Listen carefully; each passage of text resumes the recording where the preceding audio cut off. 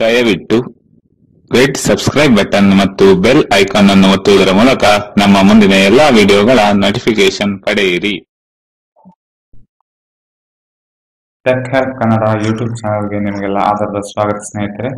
ಇಂದಿನ ಈ ಸಂಚಿಕೆಯಲ್ಲಿ ನೀವು ಪ್ರಧಾನಮಂತ್ರಿ ಸಚಿವಾಲಯ ಪಿ ಎಂ ಆಫೀಸ್ಗೆ ಆನ್ಲೈನ್ನಲ್ಲಿ ಹೇಗೆ ದೂರುಗಳನ್ನು ನೀಡಬಹುದು ಎಂಬ ವಿಷಯದ ಬಗ್ಗೆ ತಿಳಿಸಿಕೊಡ್ತೇನೆ. ಈ ವಿಷಯವನ್ನು, ಈ ವಿಷಯದಲ್ಲಿ ನೀವು ಸುಮಾರು ಐವತ್ತೆರಡು ಡಿಪಾರ್ಟ್ಮೆಂಟ್ಸ್ಗಳ ಬಗ್ಗೆ ದೂರುಗಳನ್ನು ದಾಖಲಿಸಬಹುದು. ಈ ದೂರುಗಳು ಅರವತ್ತು ದಿವಸಗಳ ಒಳಗೆ ರಿಸಾಲ್ವ್ ಆಗ್ತದೆ ಇದನ್ನು ತಾವು ಪೋಸ್ಟ್ನಲ್ಲೂ ಬೇಕಾದರೂ ಕಳಿಸಬಹುದು.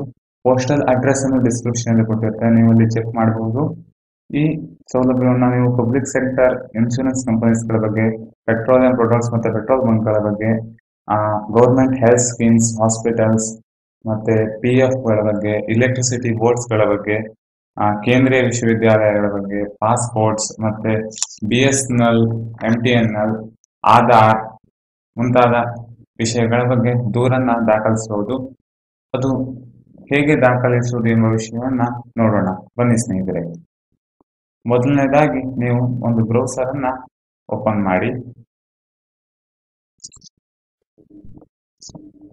ಈಗ ಅಡ್ರೆಸ್ ಬಾರ್ನಲ್ಲಿ P G portal dot G O V dot in ಇದು ಟೈಪ್ ಮಾಡಿ ಗೋ ಮೇಲೆ ಕ್ಲಿಕ್ ಮಾಡಿ.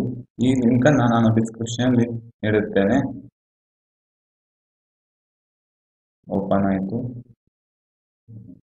ಇದರಲ್ಲಿ ನೀವು ಮಿನಿಸ್ಟ್ರಿ ವೈಸ್ ಪೆಂಡೆನ್ಸ್ ಡೀಟೇಲ್ಸ್ ನೋಡೋದಾದ್ರೆ, ಎಷ್ಟು ದೂರುಗಳು ರಿಸಾಲ್ವ್ ಆಗಿದೆ ಅಂತ ನೋಡೋದಾದ್ರೆ, ಸುಮಾರು ಇಪ್ಪತ್ತೆರಡು ಲಕ್ಷದ ಎಪ್ಪತ್ಮೂರು ಸಾವಿರದ ಒಂಬೈನೂರ ಎಪ್ಪತ್ತ ಎರಡು ದೂರುಗಳು ಆ, ದೂರುಗಳನ್ನು ಸ್ವೀಕಾರ ಮಾಡಿದ್ದಾರೆ. ಅದರಲ್ಲಿ ತೊಂಬತ್ತಾರು ಶೇಕಡ ದೂರುಗಳನ್ನ ರಿಸಾಲ್ವ್ ಮಾಡಿದ್ದಾರೆ.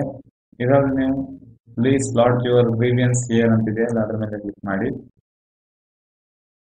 ಪಬ್ಲಿಕ್ ಗ್ರೀವಿಯನ್ಸ್ ಅಥವಾ ನಿಮ್ಮ ಪೆನ್ಷನ್ ಗ್ರೀವಿಯನ್ಸ್ ಇದ್ರೆ ಪೆನ್ಷನ್ ಮೇಲೆ ಕ್ಲಿಕ್ ಮಾಡಿ. ಇದರಲ್ಲಿ ನೀವು R T R T I matters ಮತ್ತೆ ಕೋರ್ಟ್ನಲ್ಲಿ ಇರುವ ಮ್ಯಾಟರ್ಸ್ಗಳ ಬಗ್ಗೆ ಫಾರಿನ್ ಗೌರ್ಮೆಂಟ್ಗಳ ಬಗ್ಗೆ ಪ್ರಾಂತೀಯ ವಿಚಾರಗಳ ಬಗ್ಗೆ ನಿಮ್ಮ ಸಲಹೆ ಏನಾದಿದ್ರೆ ಅದನ್ನ ಈ ಪೋರ್ಟಲ್ನಲ್ಲಿ ನೀವು ನೀಡಬಾರದು. ಈ ಟರ್ಮ್ಸ್ ಅಂಡ್ ಕಂಡೀಷನ್ಸ್ ನೀವು ಅಗ್ರಿ ಅಂತ ಕ್ಲಿಕ್ ಮಾಡಿ ಸಬ್ಮಿಟ್ ಅಂತ ಕ್ಲಿಕ್ ಮಾಡಿ. ಈಗ ಒಂದು ಹೊಸ ವಿಂಡೋ ಓಪನ್ ಆಗುತ್ತೆ. ಇದರಲ್ಲಿ ನೀವು ಸೆಂಟ್ರಲ್ ಗೌರ್ಮೆಂಟ್ ಆದರೆ ಸೆಂಟ್ರಲ್ ಗೌರ್ಮೆಂಟ್ ಸ್ಟೇಟ್ ಗೌರ್ಮೆಂಟ್ ಈಗ ನೀವು ಕರ್ನಾಟಕ ಸರ್ಕಾರಕ್ಕೆ ನಿಮ್ಮ ದೂರನ್ನು ಸಲ್ಲಿಸಬೇಕಿದ್ರೆ ಸ್ಟೇಟ್ ಗೌರ್ಮೆಂಟ್ ಅಂತ ಕ್ಲಿಕ್ ಮಾಡಿ. ಇಲ್ಲಿ ಸೆಲೆಕ್ಟ್ ಸ್ಟೇಟ್ ಆಪ್ಷನ್ಸ್ ಅಲ್ಲಿ ಗೌರ್ಮೆಂಟ್ ಆಫ್ ಕರ್ನಾಟಕ ಅಂತ ಕ್ಲಿಕ್ ಮಾಡಿ, ಈ ರೀತಿ ಕ್ಲಿಕ್ ಮಾಡಿದ ಕೂಡಲೇ ಇದು ಗೌರ್ಮೆಂಟ್ ಆಫ್ ಕರ್ನಾಟಕದ ಗ್ರೀವಿಯನ್ಸ್ ಪೋರ್ಟಲ್ಗೆ ರೀಡೈರೆಕ್ಟ್ ಆಗುತ್ತೆ.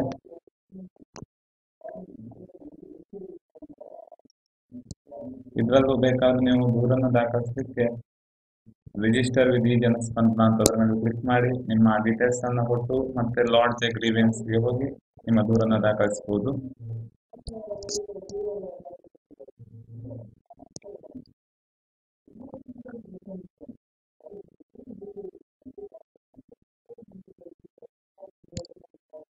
ಪಿ ಜಿ ಪೋರ್ಟಲ್ನಲ್ಲಿ ನೀವು ದೂರನ್ನು ದಾಖಲಿಸಬೇಕಿದ್ರೆ ಸೆಂಟ್ರಲ್ ಗೌರ್ಮೆಂಟ್ಗಳ ಬಗ್ಗೆ ಅಥವಾ ನಿಮಗೆ ಅದು ಯಾವುದಂತ ಗೊತ್ತಿಲ್ಲದಿದ್ರೆ not known or all listed ಅಂತ ಕ್ಲಿಕ್ ಮಾಡಿ.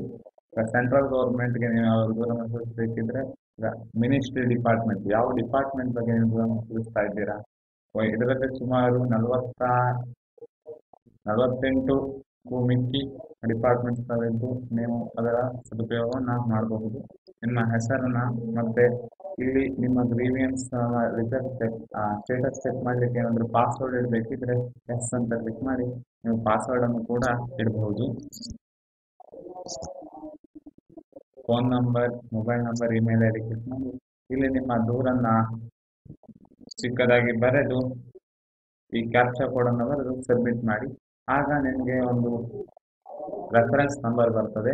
ಆ ರೆಫರೆನ್ಸ್ ನಂಬರ್ ನಿಮ್ಮ ಇಮೇಲ್ ಐ ಡಿಗೂ ಬಂದಿರ್ತದೆ. ಅದನ್ನು ನೀವು ಸುರಕ್ಷತೆಯಲ್ಲಿ ಇಟ್ಕೊಂಡು ಇಲ್ಲಿ ಸ್ಟೇಟಸ್ ನೋಡಬೇಕಾದ್ರೆ ಯೂಸ್ ಮಾಡಬಹುದು ಈ ವಿಷಯ ನಿಮಗೆ ಖುಷಿಯಾಗಿದೆ ಅಂತ ಭಾವಿಸ್ತೇನೆ. ಇನ್ನೂ ಹೆಚ್ಚಿನ ವಿಡಿಯೋಗಳಿಗೆ ನಮ್ಮ ಚಾನಲ್ನ ಸಬ್ಸ್ಕ್ರೈಬ್ ಆಗಲಿಕ್ಕೆ ಮರೆಯದಿರಿ. ಈ ವಿಚಾರವನ್ನು ನಿಮ್ಮ ಫ್ರೆಂಡ್ ಸರ್ಕಲ್ನಲ್ಲಿ ಹಂಚಿ ಧನ್ಯವಾದಗಳು.